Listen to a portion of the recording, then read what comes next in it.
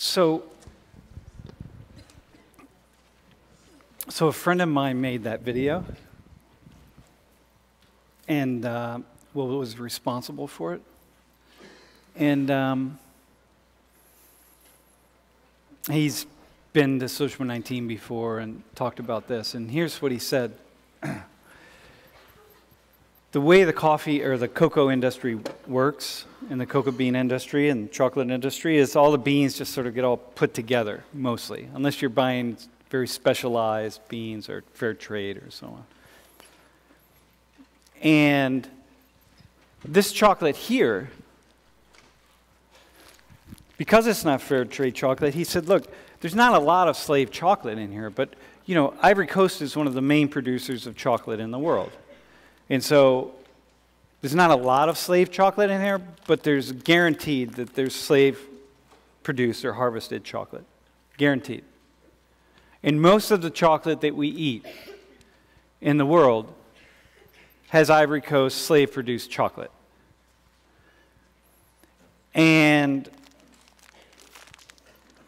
that final statement by that young man it's like they're eating my flesh is really powerful because it's like you're eating his flesh. So now we got to eat more chocolate.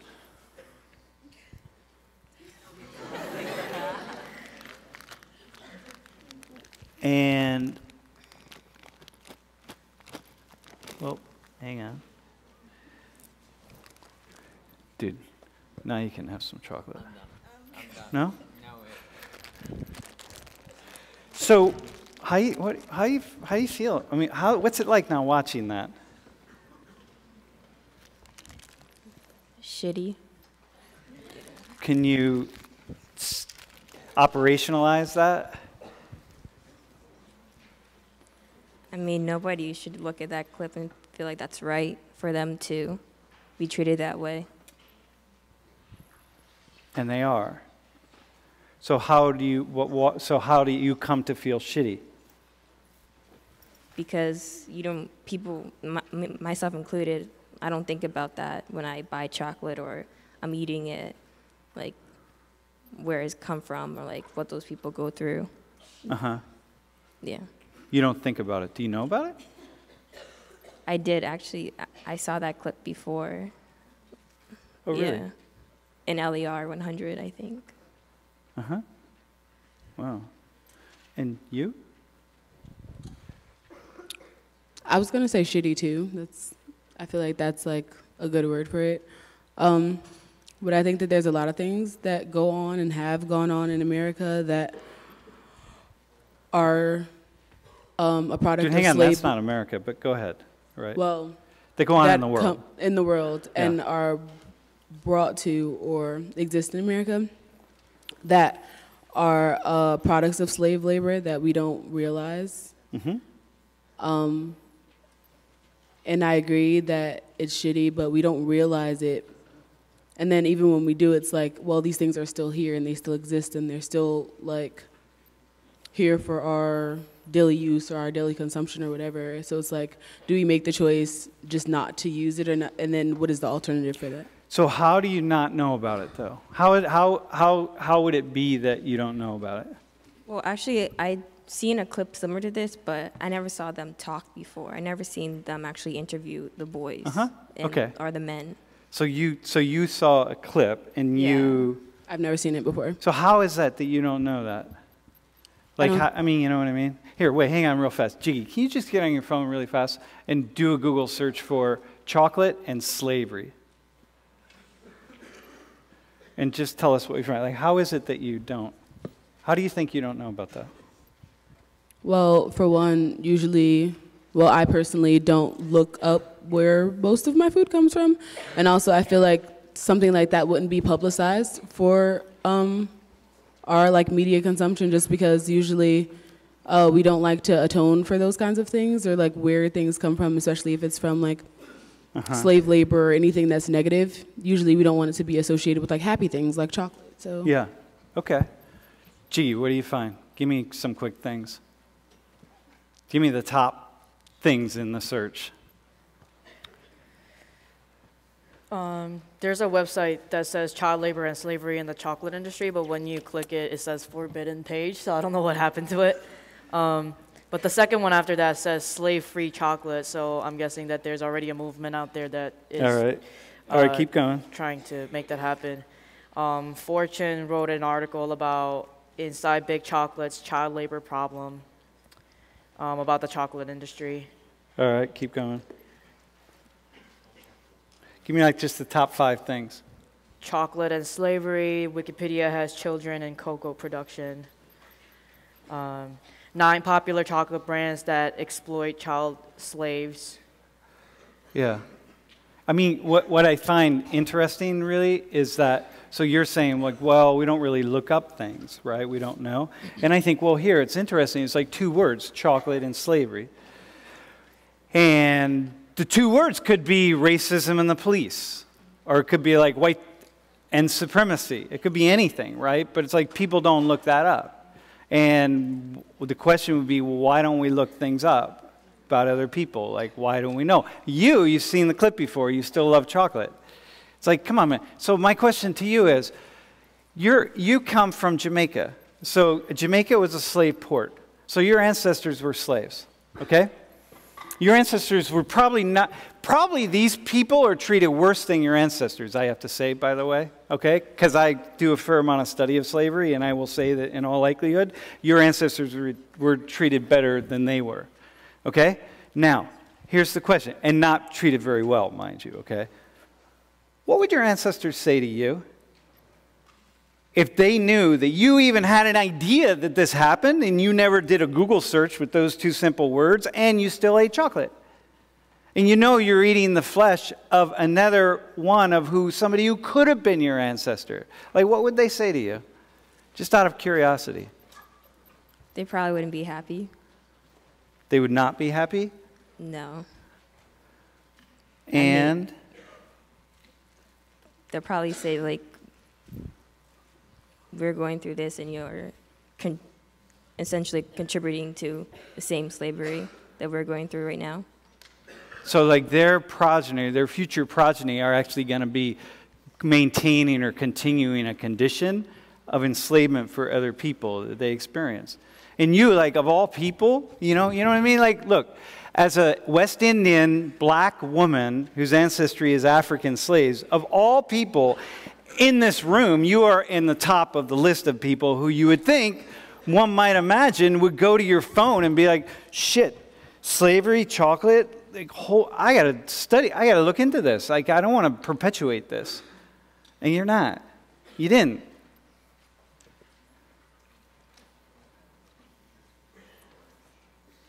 And it takes a white man to come along and say, What's happening?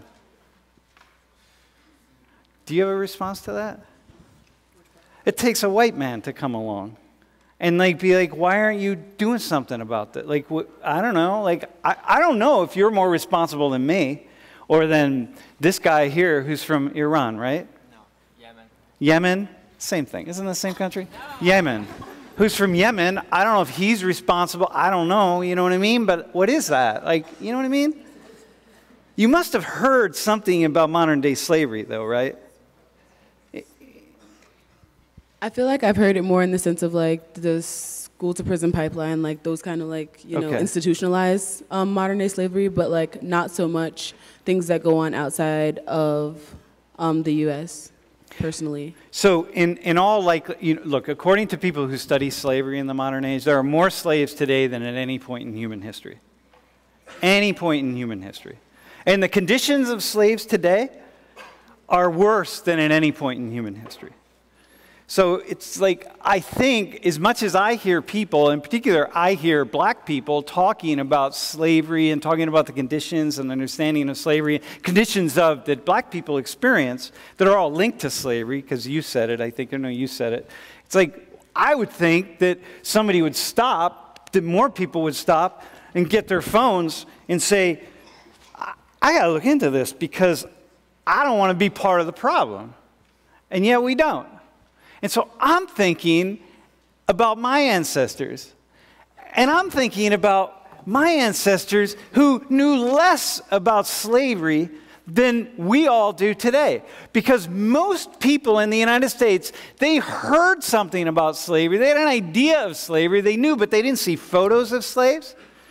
They didn't have firsthand accounts of slaves. This is before telephones and before all sorts of materials. We'd photographs, videos, we have nothing. So most people just hear about this thing called slavery but don't even know about it. And they certainly can't even get on their phones and look at and even see a couple of photos, let alone watch a video. And so I think if I go back 150 years, 180 years, 200 years, I'm thinking, well, a lot of people really haven't out on that because all they do is hear about slavery, but they never see anything, so they don't really know. But we have the opportunity to know, all of us in here. But now I'm just talking to the two of you. And I'm like, wow, you don't know. I'm thinking, well, that must be what happened to all the white people back then. Like, because I hear people all the time saying, well, why don't they know? And why didn't they know? And how, is, how could it keep going? I'm like, well, this is how it keeps going. You even heard about it. So if I can go back 107 years and someone's saying, well, all those slaves in the South are picking cotton and so on and so forth, and, but you're buying all this slave made cotton, people probably said, well, what else am I going to buy? And that's just what you said. Well, I like chocolate. Well, I like cotton.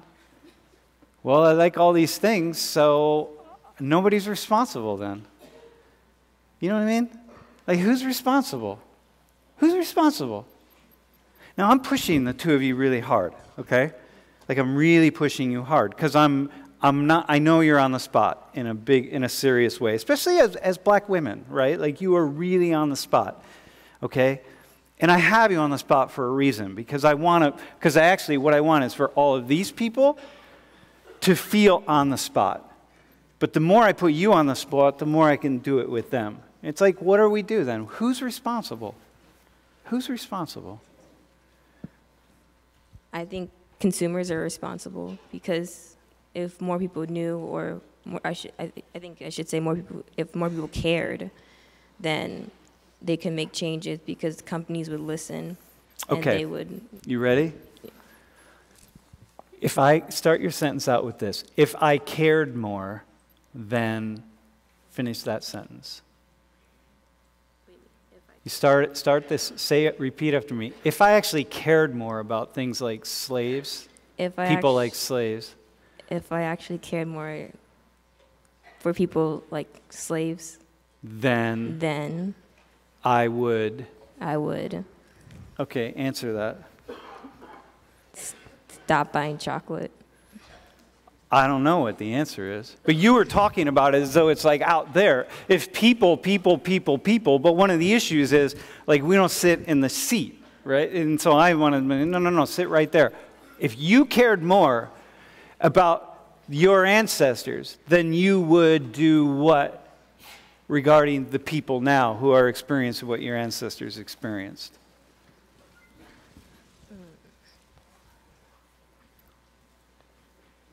Well, for me as a person, I could buy fair trade chocolate or stop consuming chocolate that's produced by slaves. Mm-hmm.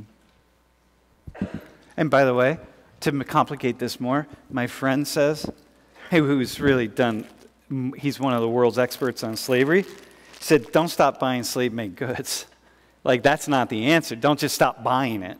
Like, that actually doesn't help, right? There are other things that help. So, like, we can get into that later. What do you think about me putting her on the spot like that? Be honest. I feel like we should be used to this in this class. Um, but I I feel like it makes it probably more personal for you just because you know where you're from. So I feel like that's like probably what makes it more uncomfortable for her and what makes it more of an on the spot thing is because she knows where she's from and she has like more of a direct like correlation to the people that you just showed like you said Yep. she's from Ivy Coast or they're they're from Ivy Coast and Yeah. she's from like a similar place so Okay, so let me ask you one final question. What are you What are you gonna do? What are you gonna do? Like not five years down the road. Like what are you gonna do right tomorrow about this issue? Someone comes along and says, hey man, yo, check out these, I got these chocolate chip cookies I just made with this cool Hershey's chocolate. And the chocolate chip cookie is really nice looking and you're hungry. I feel like, me personally, when I hear things like this, I usually want to make a difference. But personally, I'd probably just do more research on what I eat. I feel like that's the most effective thing that I can do just singularly on my own to not help. But I guess if you said that just stop buy, just not buying the products doesn't really help anything, then my question would be, what should I do? And then maybe I can follow that. Cool. And I'm not going to answer that for you. I'm going to actually make you use your phone and search for the answer. I will also say, I'm wondering what that guy would say. I wonder what he would say. Yeah. I don't know. You all right? And by the way, let me also say the following to you all. It's really important for all of us in here to see the ways in which we all need to be pushed and challenged on all these issues. And I will also, and one final, so that's important. The other thing is, most of the things that the two of you probably assume are just kind of given about the experience of black and brown people in the world, in the United States in particular, because there's a lot of white supremacy here. Well, we bear, I just sort of tapped it a little bit last class. We'll touch on it more, but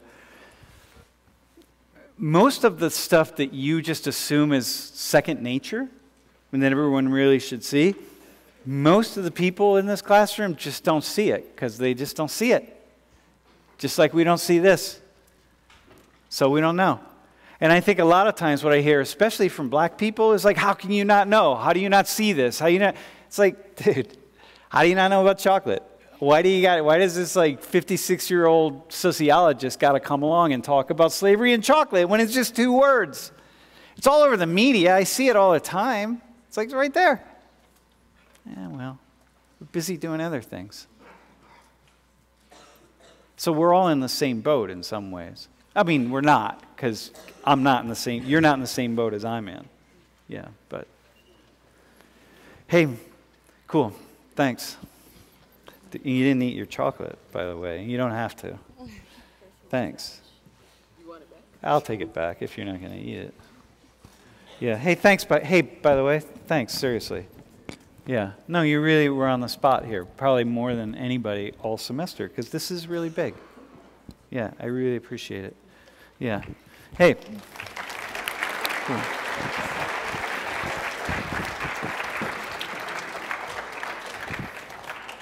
Jiggy.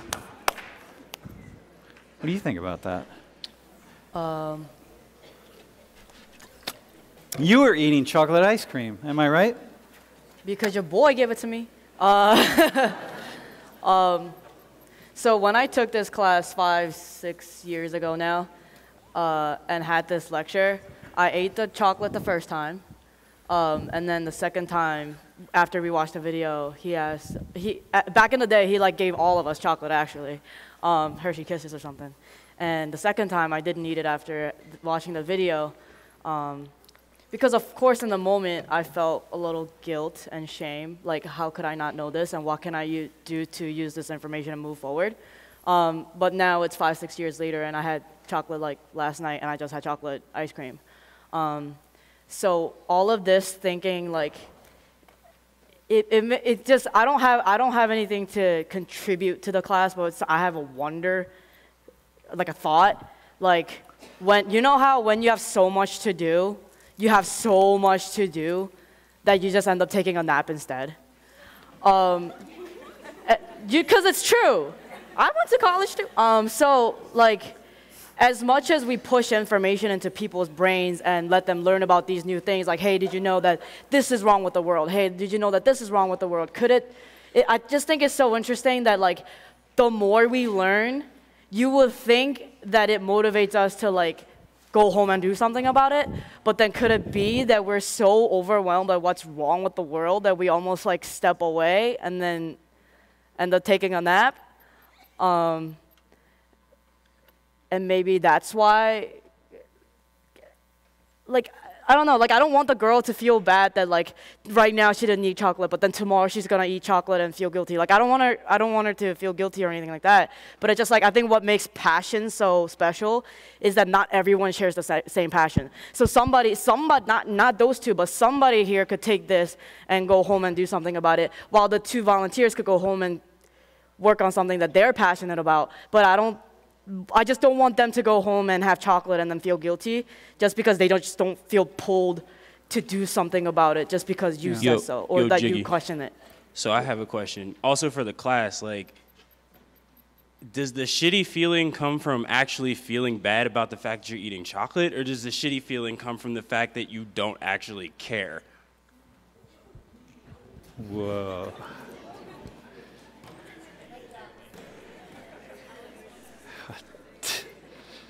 But then you can't blame people for not knowing how to care either. No, no, hang on. That's just a big. I think that's just like question number one, but then I have a following question like number question number two. It's like, of course people aren't gonna care about something that they don't empathetically feel connected to. Yeah. You know what I'm saying? There's just so much going on in the world and it just damn. No, no, dude, dude, hang on, hang on. I just want to drop that question, that turd question in the proverbial punch bowl. Again, does the shitty feeling come from the fact that of what's going into the chocolate, or does the shitty feeling come from the fact that you don't really care? And that is a huge, beautiful question.